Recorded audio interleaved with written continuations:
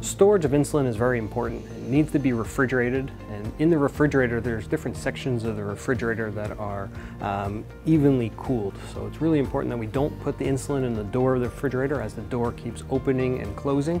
Um, it can kind of shift its uh, temperatures uh, up and down. So keep it protected from light. So on the second shelf or the bottom shelf, keep it in its box um, in towards the back of the refrigerator to keep an even um, cool temperature throughout.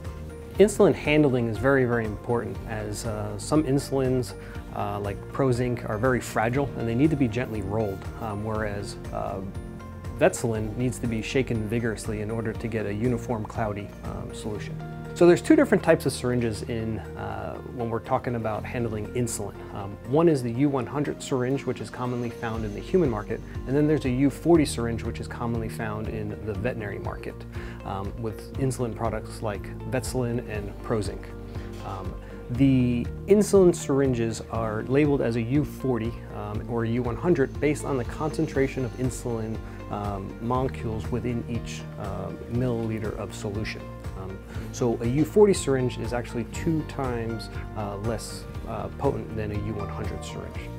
Administration of insulin is really important and we want to make sure that your pet is getting the correct amount of insulin. Um, so when we do administer insulin, it is given underneath the skin called subcutaneously and really, really important to find a location that is comfortable for yourself as well as your pet when administering insulin.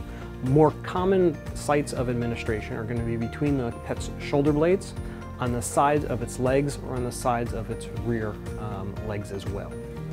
With any syringe, there are three main key, uh, features. One is the barrel, the second one is the plunger, and the third is our needle. When we draw up insulin, um, the plunger um, has a top line and a black line on the syringe inside the barrel. Um, the top line is what we judge off of and we go on the graduation lines um, equivalent to one unit, two unit, three unit, four unit, um, up to five units. So when you get your insulin out of the fridge, you want to first have your needle ready. Um, in this case, we're using Prozinc, so it's a U40 um, syringe. You want to remove the plastic cap, and you also want to prime the plunger um, by pulling it back and pushing it all the way forth gently. You're going to grab your insulin, um, in this case Prozinc, you want to gently roll it between your fingers, and then invert it um, to get ready for the syringe.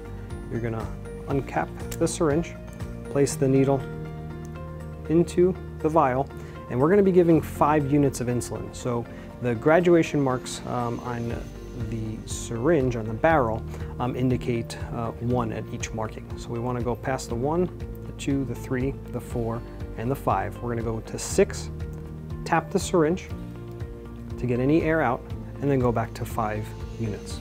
We're going to gently place the bottle down, carefully cap the syringe, and then grab our pet for the insulin.